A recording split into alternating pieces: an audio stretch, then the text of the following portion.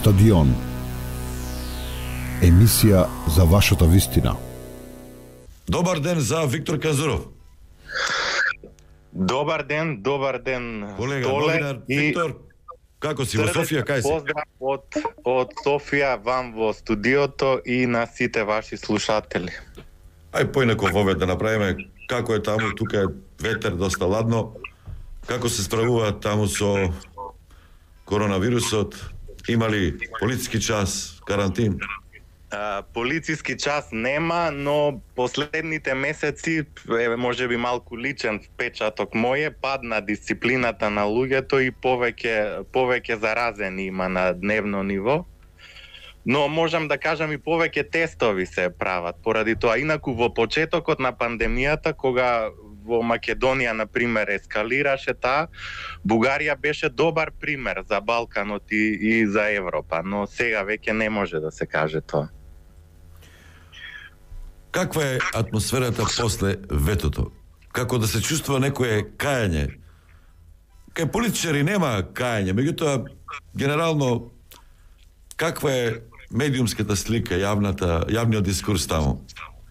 А, а значи не, не нема никакво кајање, но а, сакам да потенцирам дека тука таа тема, македонската тема воопшто не присуствува како главна во во бугарскиот медиумски простор за разлика од Македонија. И а, а, да, не, не присуствува како главна. Јас малку с, а, а, направив пауза затоа што веројатно по побавно доаѓа звукот на Да, да, на да, е. канал сте, ќе го сменам. А, тука, значи, до пред некој месец воопшто таа тема ја немаше во јавниот дискурс. А, сега последниот период овие бидејќи се очекува тоа дали Македонија ќе ги почне пред пристапните преговори, има некои емисии, но во целина нема нема некое вжештување, дури повеќе можам да кажам дека доста убаво се коментираше успехот на фудбалската репрезентација на Македонија. Тука практично сите се израдуваа на, на, на тој успех, дури а, поради кризата во која е бугарскиот фудбал на, на последната пресконференција во Софија а, селекторот на бугарската репрезентација Дерменџиев малку на шега го прашаа новинарите како како го коментира тоа што се случува во бугарскиот фудбал визави успехот на македонските репрезентативци, тој им одговори, знаете ли каде тие играат? Демек во какви е, квалитетни европски клубови. Истото го кажа по последниот по тој последен неуспех на бугарската репрезентација Јордан Лечков, прославениот бугарски фудбалски репрезентативец, кој ако се сеќавате го даде оној решавач, решавачки гол Да, да. во четвртфиналето со Германија 94-та за Бугарија, кога влезе бугарската репрезентација во полуфиналето, тој кажа на новинарите им кажа дека треба да се земе пример од Македонија за за фудбалот се се разбира. Додека ова друго прашање просто тука се вчудовидени луѓето, новинарите и политичарите од таа невидена омраза, невидена бугарофобија која која која владее во, во, во Македонија и за жал, освен од опозиционото ДПМН, во голем степен се поттикнува и од власта. Добро, не се чувствуваат малку и они виновни за тоа, затоа што ова е реакција, имало акција. А знаеш зошто те прашувам, Канзро? А вака, таман ми тргна малку работата, што се случи? Зошто мораше ова да се случи? Очигледно, големи се препреките што треба да ги поминеме за да може со Бугарија да се доближиме повеќе.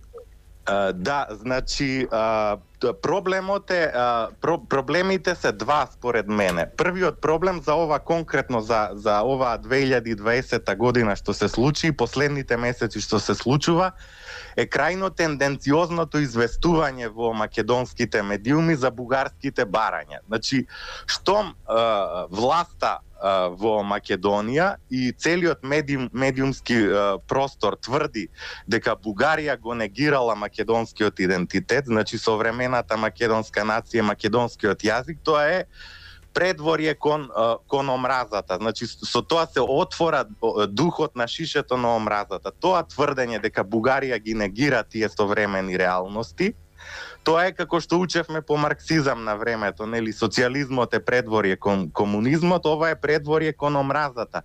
Затоа што Бугарија тоа не го негира и илјада милиарди пати го повторила. Бугарија само инсистира да се почитуваат историските факти, значи особено тие кои се однесуваат за 19-тиот и почетокот на 20-тиот век. Тие преродбеници, револуционери од внатрешната Македоно-Одринска револуционерна организација, четници, комити, други значајни историски личности од тој период кои потекнуваат од сите делови на Македонија, значи од цела географска Македонија и недвосмислено, недвосмислено се изјасниле како бугари по народност, како такви да ги Република Северна Македонија да ги признае и да ги прифати. Некако по на помек начин тој премин кон создавање на на на македонски идентитет во 20 век да го представи прво во образован, образовниот систем за новите генерации да да не е, учат историски растав, расказ кој ги конфронтира со соседните народи и држави, особено со бугарскиот народ тоа е тоа е проблемот. А, а друго, а, мислам дека еве еден слушател додека бе вклучен пред да ме вклучите вие, кажуваше за Гоце, Гоце Делчев дека тој македонец по народност и точка.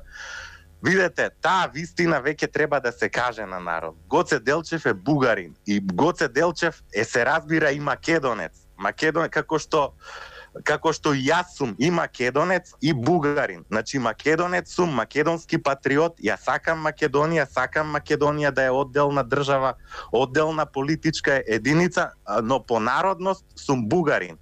И треба да се направи некој модалитет луѓето што се чувствуваат македонци и тие малкумина на вистина кои се чувствуваат во Бугари да живеат во една хармонија меѓу себе во Македонија.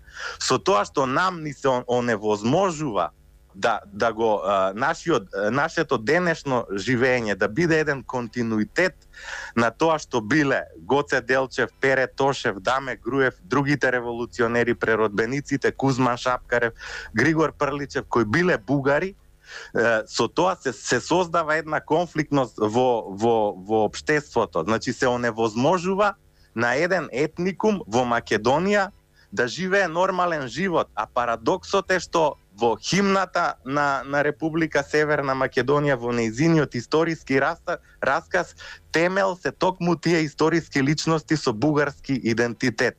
И јас можам да ви кажам, значи сиве овие години, тие што ме познаваат, мојата мисија во бугарските медиу, медиуми и во бугарскиот јавен простор е да им објаснам дека во Македонија веќе се формирала нова народност, нов идентитет кој кој, кој си има а, свој кодифициран литературен македонски јазик.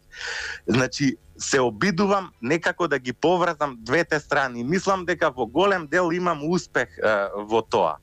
Е сега тука што каде што бугарската страна малку греши премногу грубо ја поставува таа граница на 1944 година како пред и потоа, нели? Но тука во рамките на преговори може да се најде еден еден заеднички јазик, но но јас се плашам бидејќи се зависи практично од таа комисија заедничка за историски образовни прашања, се плашам дека поради изборот на кадрите од македонска страна, делумно, не сите, тоа до тоа е невозможно да се дојде. И сето тоа доведе до создавање на една недоверба кај бугарската политичка класа, кај бугарската власт, бугарската опозиција, дојде до една недоверба дека Македонија и понатаму продолжува да го негува тој конфликтен историски расказ. Тука, Дама, тука Канзуров, не се помалку нежни и многу по-хардкор со тие националистички ставови се чиновите од бугарската страна во комисијата. А, значи, нема, нема такво нешто, јас можам да кажам дека за жал еден член на бугарската комисија кажува такви работи кои се несериозни, тоа е еден повозрасен господин Кирил Топалов, кој не знае да прави разлика меѓу југословенско и српско, нели се се се се преувле, преувеличува бројот на жртвите а, по втората светска војна во Вардарска Македонија, и, а, значи бројот на убиените од страна на комунистите.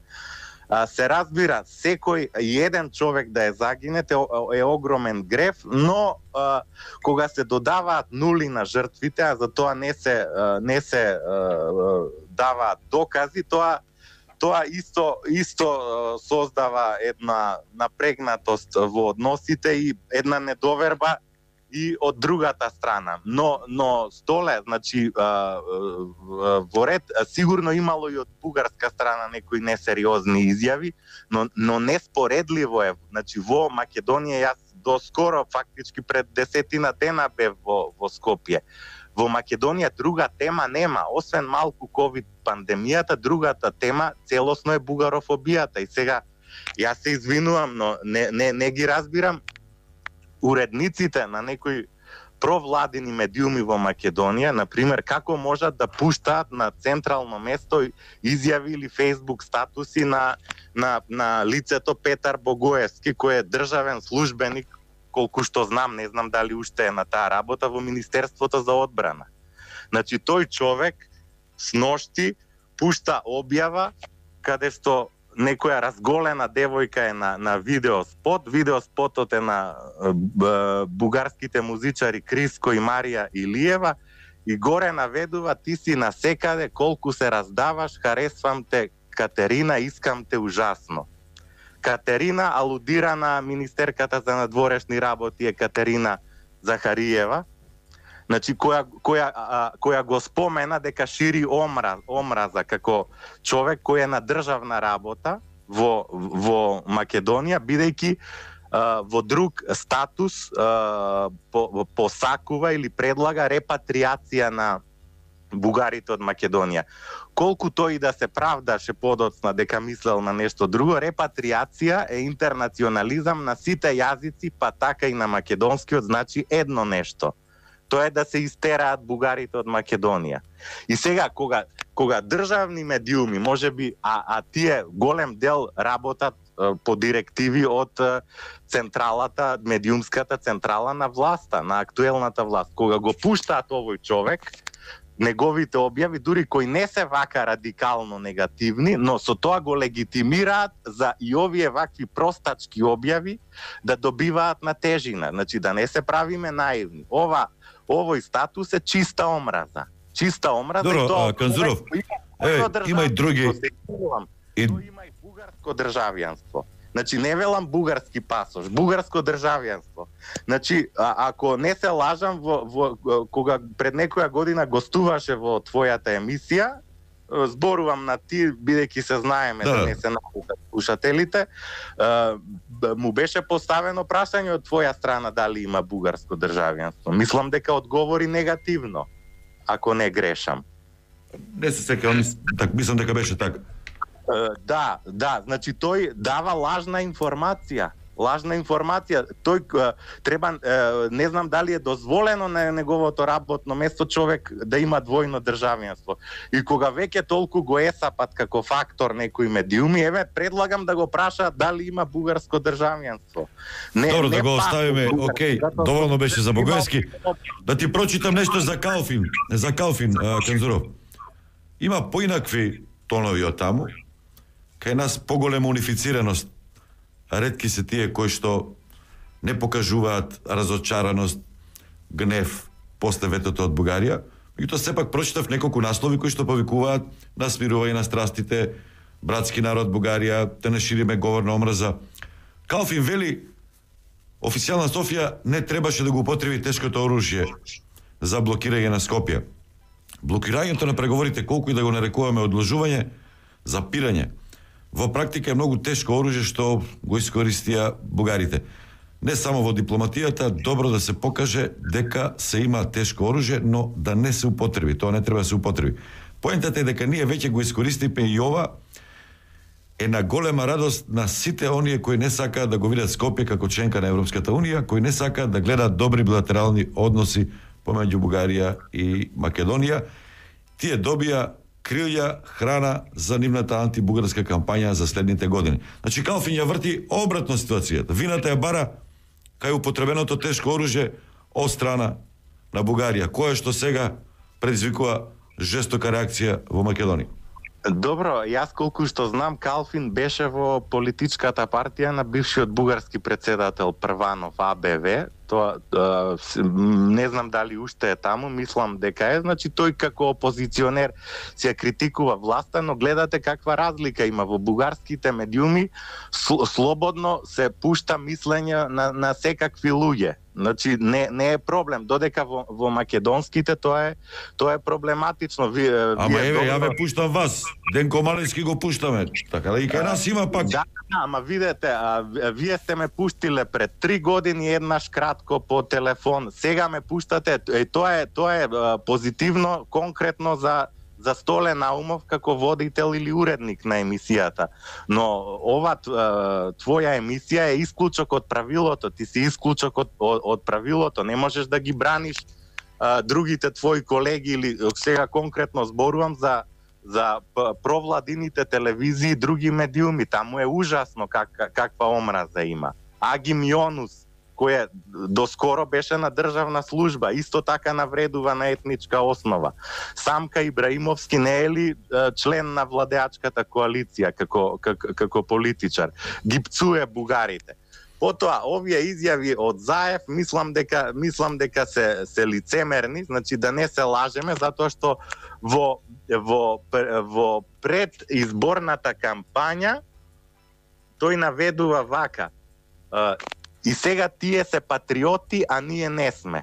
Оние кои го слават Тодор Александров, тие се патриоти. Оние кои го негираат Блаже Коневски се патриоти.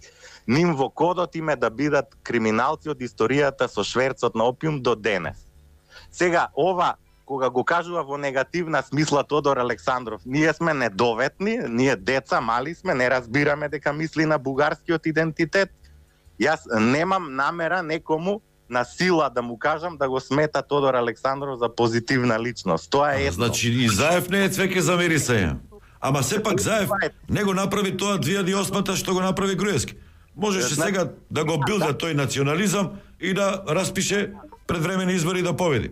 Аев, ова е говор на омраза од страна на премиерот. Говор на омраза е. И тоа, ако тој толку го чествува Блаже Конески, тогаш треба да каже Блаже Конески дека со тоа Зоран Заев ја негира македонската азбука. Блаже Конески предлагаше мекото српско Ч и мекото српско Дж да бидат во азбуката, да биде комплетно преземена српската азбука. Блаже Конески е внук на Глигор Соколовиќ. Глигор Соколов бившиот член на ВМРО, кој за пари премина кај српските чети и потоа имаше српски идентитет. Блаже Конески е човек кој до 41 беше со српски идентитет.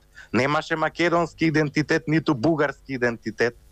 Значи, Заев, за, за што се залага? За македонски или за српски идентитет? И ова, кога го кажува за Тодор Александров, да не се лажеме ние, тоа е исто како во бугарскиот јазик кога ќе се каже благодарја и мерси, кој, кој е од францускиот јазик. Знаеме дека тоа е едно исто. Во овој случај Тодор Александров го ползува за да каже дека некаква друга страна е пробугарска предавничка. Смешно е за ДПМН е Валјево да се каже. Тие го надминуваат и, и така наречениот СДСМ со бугарофобија и со просрпска ориентација. Но ова е ова е чиста навреда. Е ова е то, тој отворен порано на го сака они, односно не го сака Конески, сега го засака. Ајде завршуваме Казуров, реклами не чекаат. Вака, искрено, веруваш ли дека од такви позиции ќе се најде некој во Македонија што ќе прифати такви а, како да ги кажам нападни барања од Бугарија. Затоа што има наслови, на пример, Дојче Веле, да беа историски спорови, критериум, Европската Унија ќе имаше нула членки. Значи, ние зборуваме за идентитет. Идентитетот е комплексна работа. Секако има и бугарски корени. Меѓутоа, пред се се словенски, па имаме антички, па имаме и српски, имаме лексика, и самите го споменавте тоа. Понижувачки е тоа што вели Георгиевски 10 пати Гоце Делчев е бугарин, Гоце Делчев е бугарин. Нека стои се декларирал како бугарин, ама се борел за независна Македонија. Каде да најдеме прифатлива средина? Тоа е проблемот. Вака ниту ти, ниту ја помагаме. А, а, знам, но а, сега ќе ми извиниш, сметам дека бугарската страна е многу поблиску до таа некоја прифатлива средина и одреден број интелектуалци во Македонија. Сега се согласувам дека тоа со линијата 44 година и некои други зборови, на пример терминот корени не ми се допаѓа многу затоа што подразбира некаков есенцијализам, но за голите историски факти Бугарија е во право. Ние на македонскиот народ треба веќе еднаш да му го кажеме тоа таа вистина. Значи, види, проблемот е дури не е толку важно кој како се чувствувал во минатото или како се чувствува денес, но пропагандата во Македонската Југословенска република беше Бугарија ни ја присвојува историјата, не е точно дека Гоце, Даме, Прличев, Шапкарев, Миладинови се бугари, туку се наши македонци. Е сега во време на интернет многу јасно е секој може да провери и, и во целиот свет тие ги знаат како бугари. Значи тоа треба бидејќи таму е основата на конфликтот која ја има просечниот македонски граѓанин кон добро, ама има и други лицемерни работи. Еве со фашизмот. Тоа може да се измие некако да се како да кажам, да се упристои во тие историски читанки, меѓутоа не може од фактите да се бега. Тогаш Да. бугарите биле на страната на фашистите, односно на фашистичка Германија, сојузник. А, ама видете, значи прво Буг, Бугарија и под притисок влегува во, во рамките на тие сили на Оската и тоа влегува кон крајот на март 41 затоа што на некој начин и нема друг излез и тоа откако веќе кралството Југославија е влезено во тој сојуз. Така што Да, после, нема ама после никаков раскина тој сојуз во Југославија, па има за напад и така натаму. А, а инаку, јас секогаш сум го кажувал тоа. А, а, тоа не, не е убава страница во, во историјата на тие земји кои, кои биле во, во, во тој сојуз. Но во Вардарска Македонија практично нема никаков отпор кон силите на Оската. Тоа дури и Едвард Карделј на Лазар Колишев, значи вториот човек на Југославија, Едвард Карделј по Тито, најзначајна личност во тој југословенски комунистички систем, на македонскиот раководител Колишевски му го кажува по втората све, вие немавте жртви во војната. Затоа треба да надоместите Ама немало отпор и во Хрватска кога влегувале, и во Словенија кога влегувале, немало отпор. После Да, се направил да партизани, А не- ова, Не она. може да спореди тоа, значи во секоја југословенска република бројот на жртвите е неспоредливо поголем, некаде дури десеткратно поголем. На пример, Црна, Го- Црнагора по глава на население во споредба со Македонија десет пати поголем. Сега какви биле не, не смееме да го минимизираме тоа антифашистичко учество. Некој ќе каже, па бугарите не дозволувале. Они тука администрирале. А, значи, ви, а, видете, а, а зошто така македонците сега не се бунат за а, албанската окупација на Западна Македонија? Таму многу Италијаните и албанците, да. и посилно партизанско движење. Еве нека от, отидат тие што врескаат и сега ме псујат додека ме слушаат, во зајас нека постават плоча таму пред куќата на Али Ахмети. Па мислам најлесно ќе поминат со две-три шлаканици или со некоја клоца во задниот дел на грбот. Ќе изедат ќотек, така? Со тоа Да. тие ја негираат самобитноста на македонската нација и ги поддржуваат тезите на тие кои тврдат дека таа е вештачка и со сила и со Казуров, конформизам. има ли решение? Лично, лично, секојаш се залагал за такво помирување? Има ли шанси до крај на декември или ќе чекаме март изборите, ако веќе изборите се главниот извор на меѓу другото на овие бугарски тврди ставови? Не, не, не, тоа е голема заблуда, тоа сакав да го кажам. Значи во Македонија се живее како во една капсула. Нема врска ова со бугарските избори, ниту може, ниту било, ниту ќе биде централна тема. Не, нема едноставно бугарскиот став и ставот на бугарскиот народ на, на бугарите во Република Бугарија, во Република Северна Македонија и на секаде е, е тврд, тврд како железо, како челик идентитетот да се почитува на Гоце Делчев. Тие луѓе умреле како бугари. И умреле за македонската кауза. Добро, има ли решение? А, Се надеваш и веруваш и дека ќе се смират работите или дополнително ќе се влошат? Вака, вака јас лично, лично за жал за за блиската иднина не сум оптимист, но но би сакал да се смират работите и да се најде некој историски расказ кој ќе биде прифатлив на двете страни, да се да се наведе бугарската народност, но не како што кажува председателот Пендаровски, председателот на Македонија, дека тој се декларирал бугарин, но не се чувствувал бугарин. Значи го го омаловажува Гоце Делчев, го го става на исто ниво со денешните кандидати за бугарско државенство од Македонија кои не се чувствуваат бугари. Не може Не, ама така, добро, значи, малку е лицемерно. Са, Нема- зошто Пајдаровски има една изјава дека се враќаме во времето на живковизмот. Меѓутоа, бугарите не можат да скокнат преку времето на Ѓорги Димитров, кој што е главен антифашистички деец. А, да, да, да, но Георги Димитров е сталинист. Значи сега Македонија штом толку го честува и го сака Георги Димитров е сталинистичка држава излегува така. Тодор Живков е тој што раскрстува со сталинизмот. Сега и Тодор Живков и Георги Димитров се а, комунистички Па не знам сад, Тито е повеќе антисталинист. На, со голем почит тука во Бугарија, освен кај некои носталгичари по комунизмот. А, но а, Георги не, Георги сакав да кажам дека не смееме една историја да бараме, а другата да ја скокаме, да не ја признавам. И Ѓорги Димитров неговото време е дел од бугарската историја. Мислам дека јас мислам дека И македонското малцинство, македонците Георги тогаш таму. Е- Историјата кога Георги Димитров е прв човек на Бугарија темелно треба да се проучи и јас предлагам во македонските учебници протоколите да се учат од бугарските е, комунистички партиски комитети по градовите во па-, Пиринска Македонија, каде што објаснуваат каков проблем имаат со луѓето во Пиринска Македонија, да им кажат да ги убедат дека не се бугари, туку се македонци. Значи нивниот географски македонски идентитет да им го наметнат како етнички. И убедиле нека се 200.000 луѓе да се декларираат како македонци тогаш. Ама ко, кој се декларирале како како македонци? Тоа е насила извршен попис. Насила никој не ги прашувал, па мојата жена е од таму. Ко, кого вие лажете, мислам? По, по таткова линија е по потекло од таму. Па таа е бугарка по народност и македонка по географска припадност.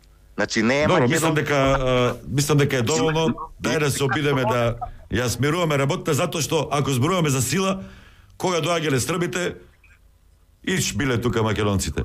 Кога доаѓале бугарите, оф, така да Силата била секогаш присутна. Биле канзурови во отоманско време, но презимињата се унифицираат кога се создава некаква држава. А, работата е што кога кога дошле србите во Македонија, се појавуваат две востанија.